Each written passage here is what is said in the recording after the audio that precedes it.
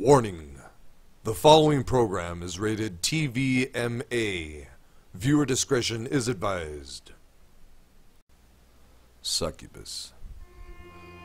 Succubus. The word is derived from late Latin succuba.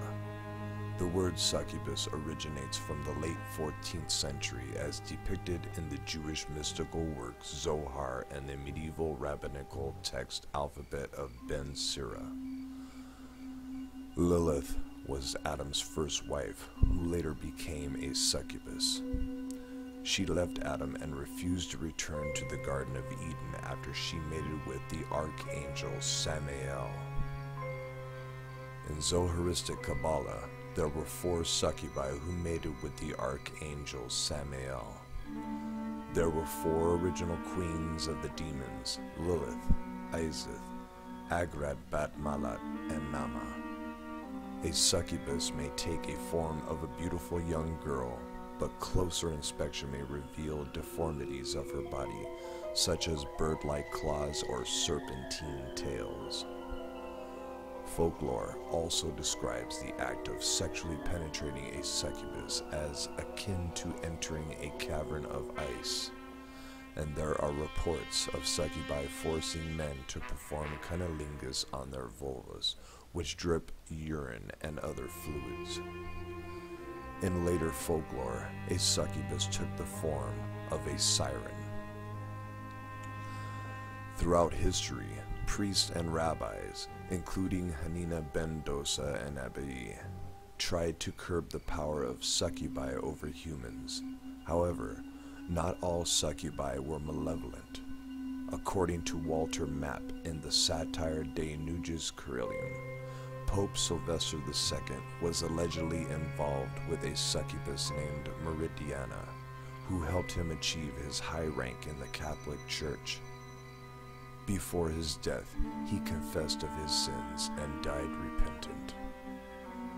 According to the Kabbalah and the school of Rashba, the original three queens of the demons, Agrat bat Mahlat, Naamah, Eisheth Zenum, and all their cohorts give birth to children, except Lilith. According to other legends, the children of Lilith are called Lilim. According to the Malleus Maleficarum, or Witch's Hammer, written by Heinrich Kramer in 1486, succubi collect semen from men they seduce.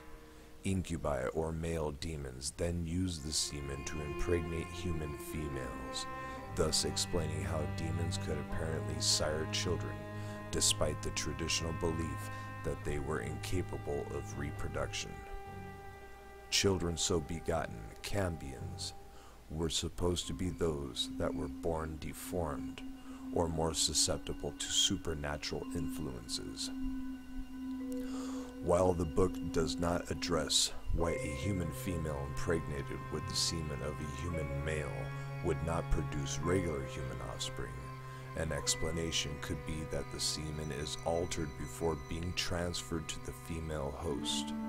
However, in some lore, the child is born deformed because the conception was unnatural.